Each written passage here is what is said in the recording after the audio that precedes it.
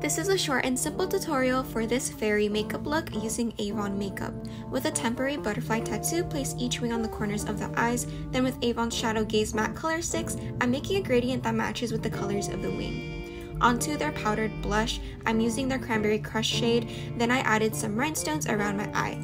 Lastly, I'm using the lip butter in the shade Flirtatious Charm to complete the look.